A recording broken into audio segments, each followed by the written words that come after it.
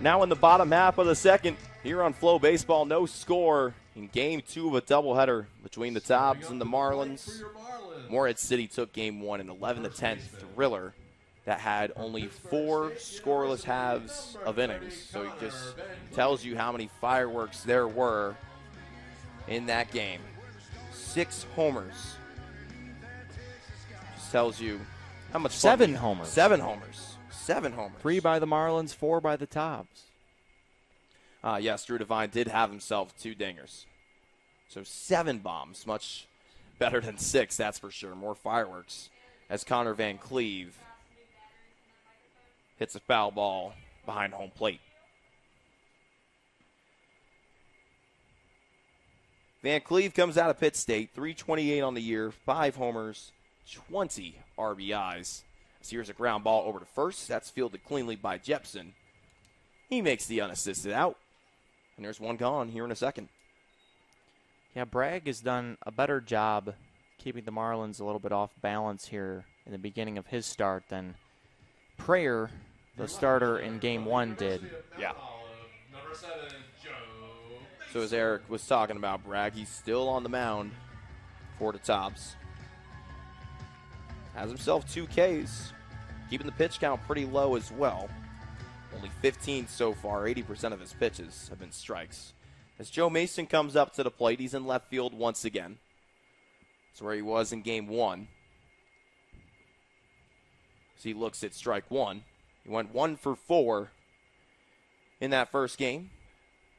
Three strikeouts. Not the stat line you want to hear if you're Joe. Here comes the 0 1. A big swing and a miss there. And the Mount Olive product is down 0 2. Also made a critical base running error late in the game. Oh, yes, he did. Marlins were able to overcome it, though. Morehead City got the bases loaded, bases loaded walk, and then a wild pitch. Scored the 11th run for Morehead City, and it was a good thing that it scored the 11th run because the Tobs responded with a solo homer to make it an 11 10 ball game. That's how it ended. As Mason looks at ball one, the count's now 1 and 2.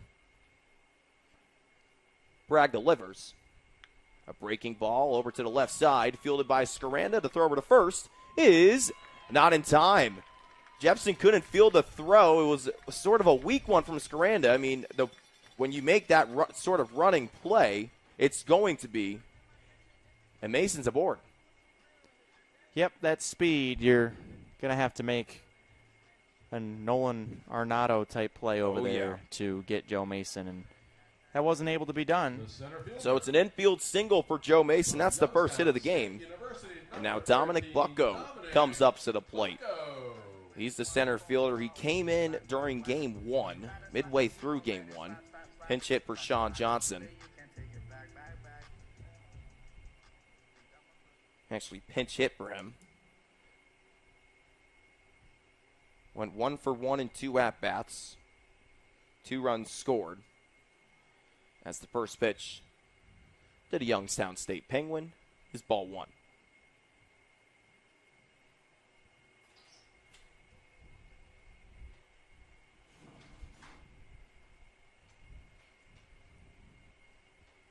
Bucko's been all over the lineup. He's led off. He's been in the nine spot. He's hitting sixth in game two. But Bucko's just moving around the order, both he and Joe Mason. Yeah, it doesn't really matter where you put him. You know he's going to be productive. Right. You, you know he's going to make things happen, and I would argue his value rises even more at the bottom of the lineup than it does at the top because the Marlins have the dudes at the top.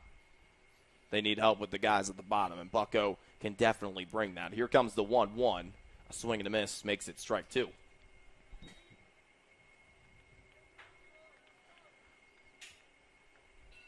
Bucko not showing the shot, not showing the socks though. It's always it's always changes. I think it's just what he's the way the wind's blowing for Dom. Oh, And there's a pickoff move from Bragg that almost got away from him. Almost got away from Jepson, that is. The throw was well wide to Jepson's left. Mason is the one that leads off at first. Just got aboard with that infield single. Here comes the one two. Bucko fouls it down the third base line out of play. Officially 9 o'clock Eastern Time here at The Rock.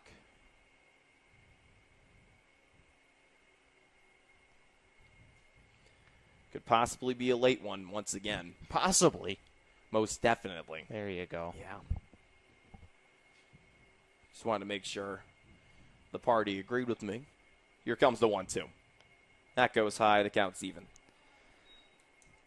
I think our fate is sealed, my friend, for having a long night. Yeah. It's a good thing though that this doubleheader and the one yesterday didn't start at six o'clock because we had that Sunday doubleheader that started at six. Yeah, what were we thinking? It's past us. You live and you learn. Here's the 2 2. That is well inside. The count's full now.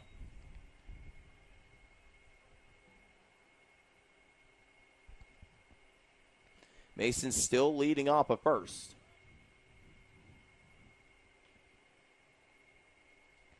As the Marlins try to be the first ones to answer. The Tobs had that, got that award as Mason goes on the full count. It's ball four. Mason was going to get in either way, but now Bucko's aboard with a base on balls, and Jordan Johnson has the chance to bring the boys around. The third baseman from the University of Look at that bat there from Bucko. Got some tough pitches with two strikes from Bragg and was able to lay them all, lay off of all of them. Johnson getting the nod once again. Started in game one at third base, doing the same here in game two. Two for three, two RBIs, two runs scored in, in that twilight game. As now Mason leads off a second, Bucko leads off a first. Neither of them being held on, and Johnson fouls the first pitch back. Jordan Johnson was one of the offensive heroes of game one for the Marlins. Yes. Without him, I'm not sure the Marlins win. That's for certain. That is for certain. I'm almost certain that they don't win. Yeah. I think Wilson definitely would have won that game without Jordan Johnson's impact. with how crucial these two games are, that's that's for sure. Here comes the 0-1. As now Johnson is in a big hole down 0-2. But a win for the Marlins in game two gives Morehead City a three game lead over Wilson. A loss puts Morehead City back into a one game lead where it was at the start of this doubleheader. So right now the Marlins have a two game lead over the Tobs. You have to factor in Peninsula as well, That is who true. was tied with Wilson coming in. It's Johnson fouls it back. We'll do the 0 2 again.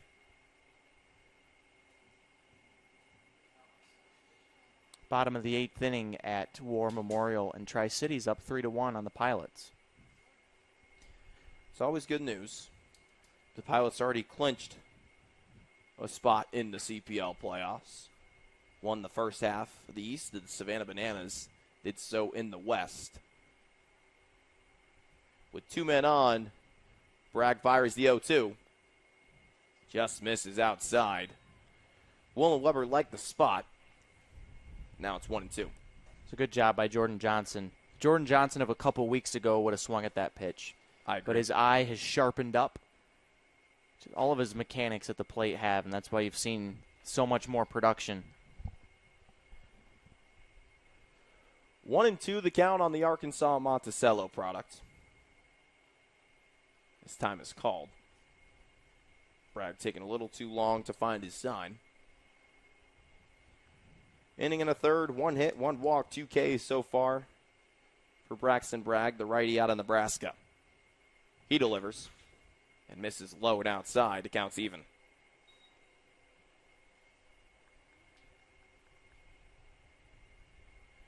Pretty good crowd here on a Saturday night. I would say bigger than last night. Question mark. I think so. A, a little bit more. Had around 15 or 1400 in here last night. Yep. Bucko with the lead off of first. Mason with the lead off second.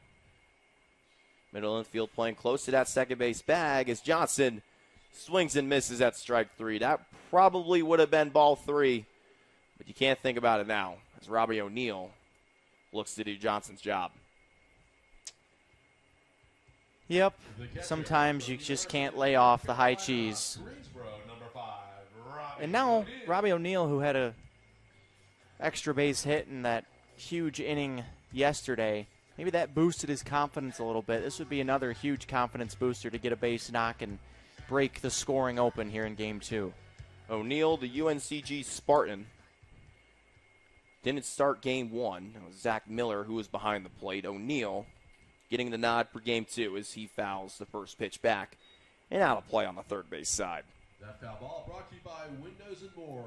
For windows or doors, call Windows and More, 252-726-81. O'Neal's hitting 103 on the season. This is his 40th at bat in 2021. Four RBIs on the year. Doesn't have a homer to his name.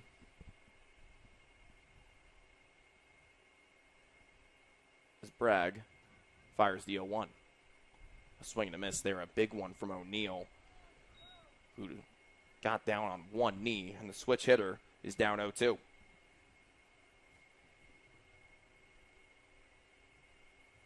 Jack Casvero, the second baseman, is on deck.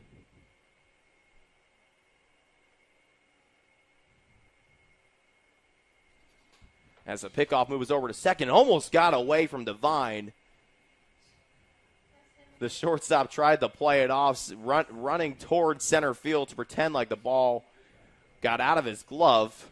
Mason didn't fall for it, and thank goodness he didn't because Joe Mason has gotten picked off twice over there at second base in these past few games. Drew Devine's a goofy guy. He's knows he has a mouse in the house with Mason out there. This ball gets away from Weber. A wild pitch will advance Joe Mason. Dominic Bucko heads over to second, and the count's now one and two. There they are for Robbie O'Neill. Let's see if he can make something happen here and give the Marlins the early lead. Wilson got out to the lead first in game one. Marlins trying to flip the script here. Always got to get on top. Got to get yourself a good lead as well against these Wilson Tobs. Very hard to put away as Bragg delivers the one two. Hmm. Got him on strikes. Down looking goes O'Neill. Another strikeout for Bragg. That's his fourth on the game. As we're through two here in the Rock. No score on Flow Baseball.